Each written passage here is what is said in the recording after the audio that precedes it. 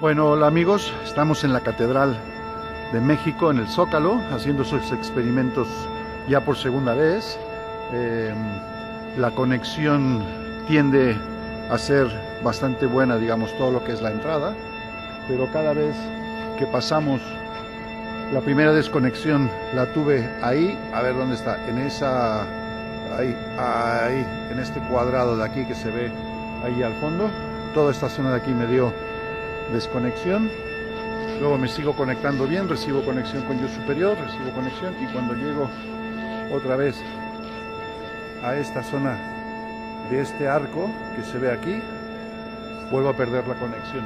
Ahora mi compañero, uh, mi compañero, ahí donde estás, ahí, Ariel, está uh, haciendo un chequeo también y Verónica está ahí, ahí está Verónica también haciendo un chequeo no acabamos de entender bien qué, cruces de energía o qué es lo que pasa, que perdemos la conexión, la conexión con yo superior. Esto es, este, hmm, no me acaba de, ¿por qué? ¿Por qué perder la conexión con yo superior? Y no, o sea, el primer año, el año pasado que vinimos éramos solamente Verónica y yo, ahora somos los tres, y los tres estamos perdiendo la conexión más o menos en el mismo sitio. Em, a ver, vamos a seguir investigando, a ver qué pasa.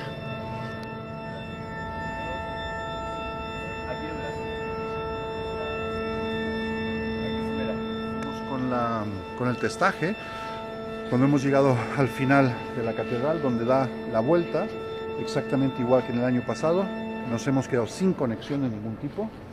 Tiene que ver con este retablo gigantesco que hay aquí atrás. Em, bueno, en este retablo he tenido que preguntar si las energías eran eh, discordantes, sí. Me he ido aventurando, he ido preguntando más si eran, digamos, de cierta manera malignas y sí, Aquí en este retablo hay información eh, muy negativa, hay una información muy pesada, muy densa, mm, pueden ser años de sufrimiento, de súplicas, de lo que sea. La cuestión es que aquí empiezas a notar una opresión en el pecho, empiezas a notar falta de respiración.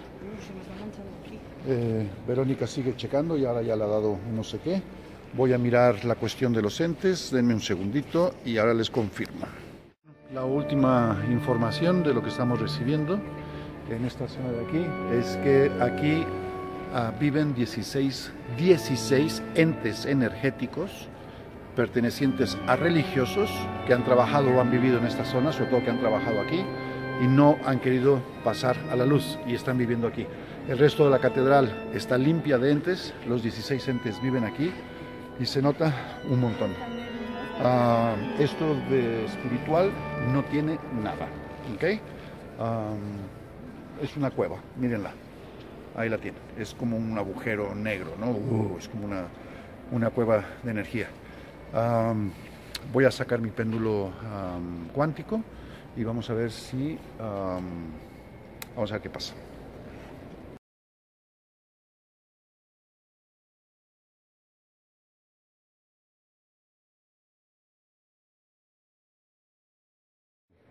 Em, he hecho el 13 veces 1 ¿no? con, el, con el péndulo y no, no se van. Eh, la información es que tendría que haber por lo mínimo tres armadores aquí trabajando bastante. Yo ya me estoy angustiando mucho, ya no tengo ganas de estar aquí. Eh, Verónica ya la ha tenido que salir eh, porque se siente mal, es muy sensible para las energías, la estoy viendo ahí. Y bueno, vamos a salir de aquí lo antes posible. aquí hay mucha, mucha oscuridad mucho oscurantismo, mucha creencia de que Dios es castigador, mucha creencia de que es un Dios vengativo, mucha creencia que uno ha venido aquí a sufrir, a vivir en base al dolor, mucha creencia aquí de pecado, muchas estatuas grises de sufrimiento, un grandísimo malestar. Un sitio espiritual y religioso debería ser un sitio que te sube el ánima, ¿no? Este sitio realmente te baja, te aplasta, te hace sentir mal, te hace sentir que la vida es eh, un camino difícil duro, no tiene nada que ver con la realidad. Nosotros hemos venido aquí a, otra cosa que no es el sufrimiento, eso está claro. Aquí flota la culpabilidad en el ambiente. Em, hay que salir de aquí lo antes posible. Ah, ya empiezo a respirar un poquito mejor, me estoy acercando a la puerta. un poquito de luz. Esto es el sitio, esto es como una catacumba, un sitio extremadamente tétrico. Ah, voy a ver cómo está ahora Vero. Ah, pues miren, ahí la tienen.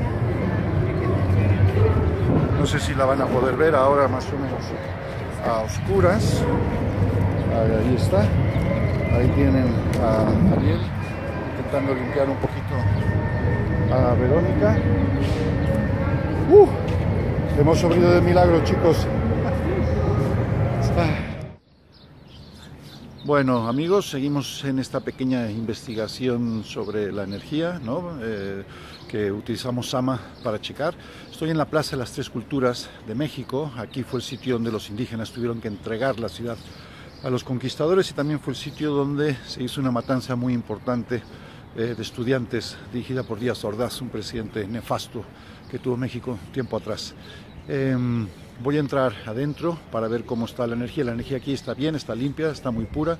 La conexión es, bastante fácil, pero tengo el interrogante de cómo va a ser una vez entremos ahí dentro. Ahora les contaré.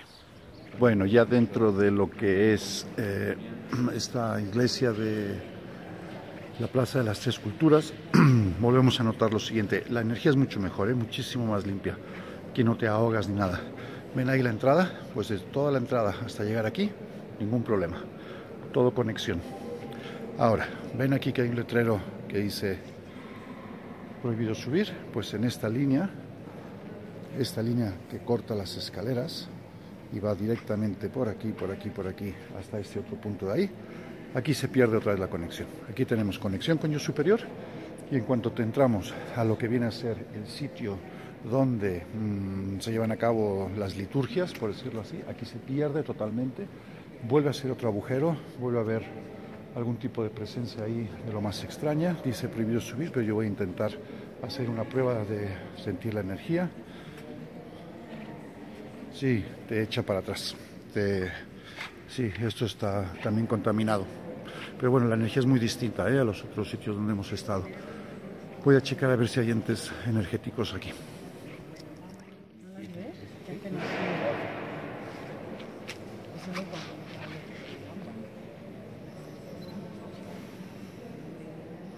resultado básico es que donde los curas se ponen ahí a hacer sus cosas, entre esa mesa y eh, ese dibujo que hay ahí, aquí hay un espacio donde los curas se ponen, cinco entes energéticos, no muy negativos, gente que vivió aquí y que está por aquí, pero bueno, la iglesia está bastante limpia la verdad es que es muy bonita y vale mucho la pena visitarla. Este, es muy interesante. Bien, bien, bien, bien. Basílica, o más bien ermita, perdón, ermita de Juan Diego, eh, al lado de la Basílica de Guadalupe. Energía, ok, muy bien. Ah, haciendo el reporte, estamos en la Basílica de la Virgen de Guadalupe.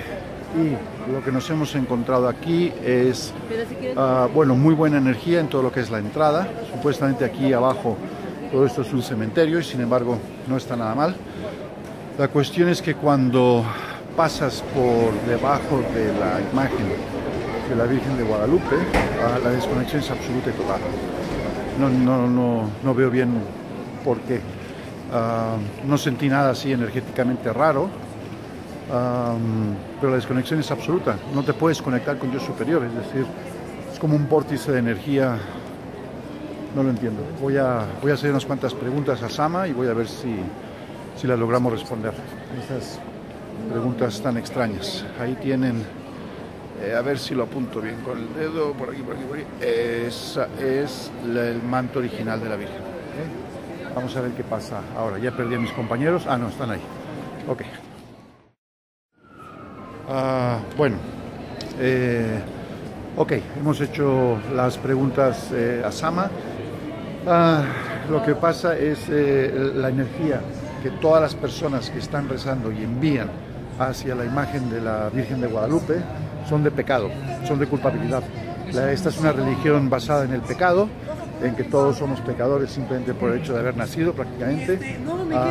Totalmente absurdo, eso es inexistente a los ojos del Señor. Eh, Dios no hizo pecadores, todos somos libres de pecado, pero todas estas personas que están aquí, que vienen de buena fe, están convencidos de que, de que pecan y de que tienen que pedir perdón. Y esa proyección energética hacia el manto de la Virgen de Guadalupe es lo que hace la desconexión, porque es una energía muy negativa, tanta que una persona no se puede conectar con su yo superior. Estás en manos de quien te quiera manipular ahí dentro, no puedes hacer nada. Muy interesante, muy, muy interesante, sí. Bueno, ¿cómo está la situación ahora? Bien, estamos en las pirámides de Teotihuacán. Aquí tenemos la pirámide del Sol. Acabamos de subir, acabamos de hacer una conexión. Eh, el grupo de Sama nos han bajado un código muy interesante eh, que, nos, eh, bueno, que nos hemos integrado. Ya antes a la entrada habíamos hecho un reset de ordenador.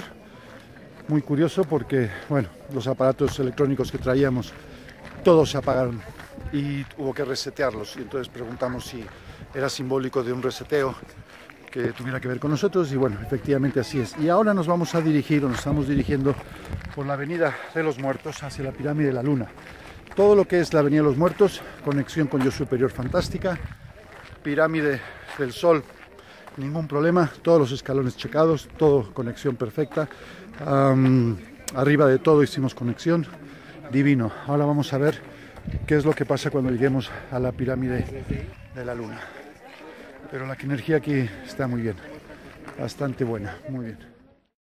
Y total, que hemos subido a la pirámide de la luna hasta donde te dejan subir, porque hay una parte que ya no te lo permiten, como se ve la parte más alta está bastante deteriorada y los turistas tendían a caer rodando. Entonces bueno, ya no te dejan subir, pero hasta donde hemos subido aquí, la conexión es eh, tanto aquí como la que dijimos antes, que la de sol, que debe estar ahí atrás, no veo nada, pero está ahí. Y aquí está el equipo Sama, ah, checando todas las conexiones energéticas. He preguntado si era un lugar sagrado, toda esta área de aquí. No, no da señal como sagrado, pero sí da señal como muy alta energía. O sea que vale la pena venir a recargar y a que te hagan un buen reseteado. Está sensacional el sitio,